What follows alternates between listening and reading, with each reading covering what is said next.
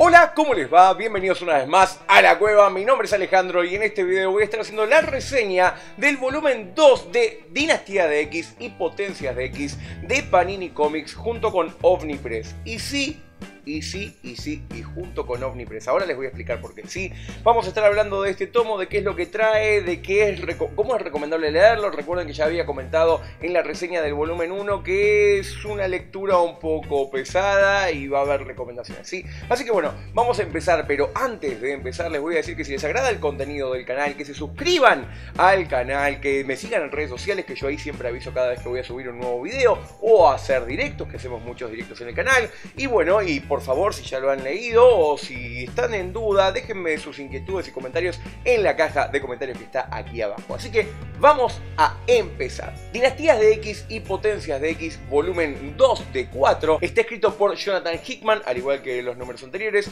Hickman, que es esta persona encargada de algunos eventos grandes de Marvel, como puede ser la Secret Wars, por ejemplo, y dibujada en este caso por Pepe Larraz, que hizo el número 2 de Dinastía de X o House of X, y RB Silva, que hizo el número 2 y el número 3 de potencias de X. ¿Por qué? Porque este número trae tres issues. El número 2 de Dinastía de X y el número 2 y 3 de potencias de X. Y ahora les voy a explicar por qué. Pero primero vamos a empezar a hablar de cómo es el tomo. Si el tomo es de 17 centímetros de ancho por 26 de alto, ¿sí? es más alto, 2 centímetros más alto que las ediciones de Omnipress que hemos mostrado en otros videos. ¿sí? Vamos a ver que tiene toda una tapa color mate ¿sí? y la portada, la portada es tal cual es original en los cómics. ¿sí? Tenemos este círculo grande con el rojo con el X-Men, ¿sí? acá vemos a Magneto, vemos a Mystique, vemos a Sabertooth, vemos a Emma Frost y acá a Toad, vemos el título Dinastías de X y Potencias de X, 2 de 4, logo de Marvel y el nombre de los autores, Hickman, Larraz, Silva,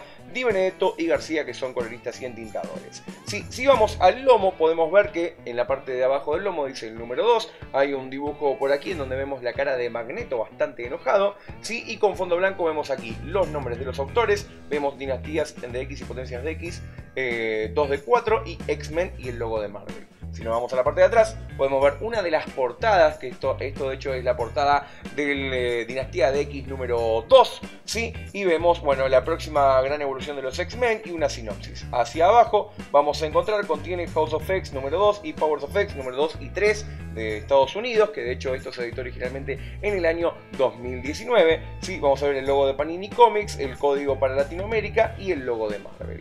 Entrando directamente vamos a encontrarnos con una portada, X-Men Dinastía de X y Potencias de X 2 de 4, ¿sí? y luego vamos a encontrar la hoja en donde nos dice todo el contenido, ¿sí? la increíble vida de Moira X, que es el título del Dinastía de X número 2, y tenemos Ahora estamos juntos tú y yo, y esto es lo que tú haces, que es de Potencias de X 2 y 3. Acá abajo vamos a tener, bueno, Hickman en guion, Reversible y Pepe Larraz en dibujos, este, Silva Adriano Benedetto y La Raza en tintas, Maite García en color, y tenemos a Will Moss y Burnstad en edición de Estados Unidos, y Cebulski y Brevon Ford en edición de Estados Unidos. ¿sí? Por cierto, vamos a, tener aquí abajo todos los datos de la edición original de Marvel, y hacia abajo, bien chiquitito, en los últimos dos renglones, podemos leer que dice realización Omnipress, coordinación editorial, Leonardo Sarcano, etc. O sea que Omnipress está haciendo la edición y el diseño de esto, lo está mandando a México a que se imprima allí y luego lo está exportando a toda Latinoamérica. ¿sí? Así que ahora vamos a hablar un poquito de la historia. ¿sí? Recomiendo, antes de agarrar esto, si lo han leído el anterior solamente una vez,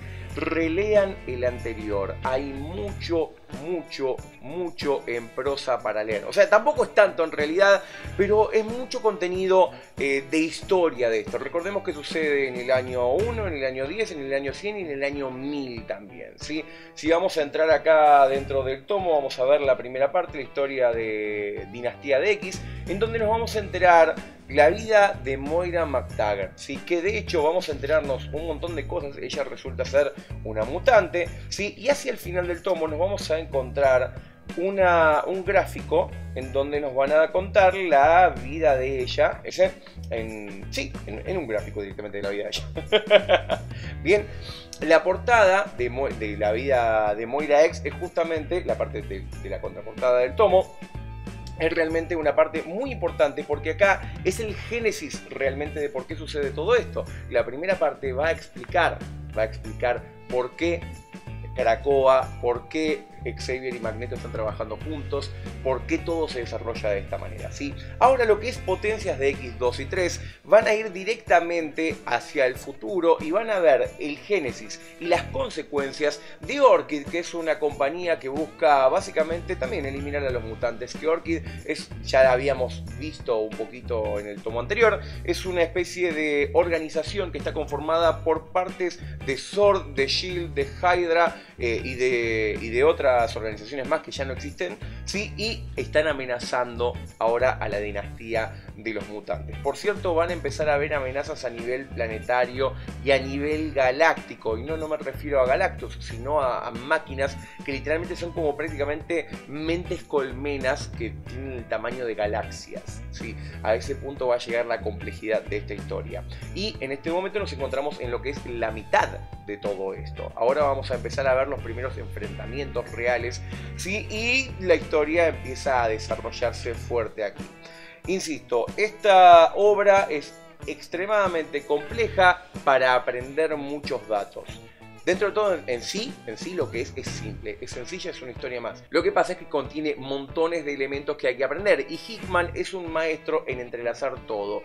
Puede parecer muy caótico al principio, pero luego realmente va empezando a cerrar. Por eso es recomendable leerlo tranquilo, darle su tiempo y luego realizar relecturas, porque de esa manera se van a encontrar muchísimo más orientados dentro de lo que es este evento, porque es en sí un evento que va a dar el génesis lo que es el famoso Dawn of X, que son todas las líneas de mutante, que son más de 6 líneas referentes a los mutantes en la era de Jonathan Hickman. Así que este libro yo lo recomiendo, tiene 112 páginas, 3 issues, en este caso estamos hablando de 3 issues, sale 630 pesos argentinos, lo que sería más o menos 6 dólares con 99 americanos, ¿sí? 6 dólares, 7 dólares americanos.